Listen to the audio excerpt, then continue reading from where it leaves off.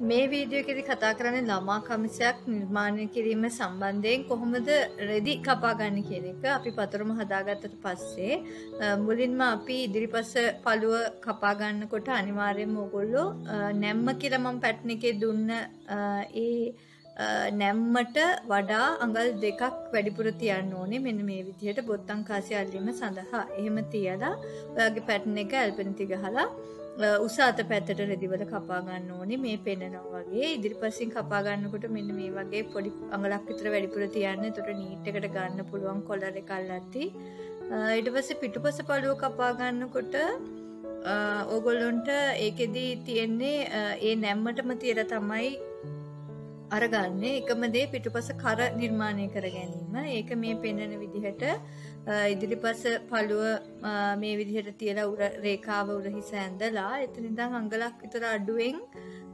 පොඩිවට පුංචි කරක් අඳ ගන්න සාමාන්‍ය කරක් පිටුපස. ඒක විතරමයි වෙනස් වෙන්නේ. එතනින් එහාට ෂර්ට්ස් වල මේ ඒ පතරමම තමයි. ඔක වයස අනුව නම් පොඩි වෙනස් වීමක් වෙනවා. එතකොට මේ පුංචි අයට නම් මේ විදිහට තමයි ගන්නේ. ඉතින් ඔයා ඒ විදිහටම පතරම කපා ගත්තට පස්සේ මහ ගන්නේ කොහොමද බලමු අපි. ඒකෙදි පළවෙනියටම ඔයා කරන්න ඕනේ ෆ්‍රන්ට් එකේ පළු දෙකේ මේ විදිහට අඟල් කාලක් විතර නවලා ඊට පස්සේ අඟලක විතර බොත්තම් අල්ලන්න අපි ඒ ලයින් එක ඔයා මේ විදිහට මහ ගන්න ඕනේ.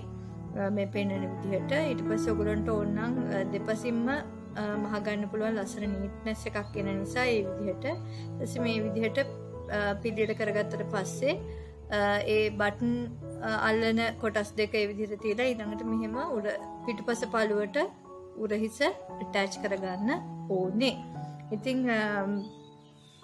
ඒ විදිහට ඔයා මහගත්තට පස්සේ එතනින් එහාට කොහොමද අත නිර්මාණය කරලා අල්ලගන්නේ පොකට් එකක් කොහොමද අල්ලගන්නේ සහ කොලර් එක කියන එක අපි ඊළඟ වීඩියෝ වලදී කොහොමද කරගන්නේ කියන එක බලමු.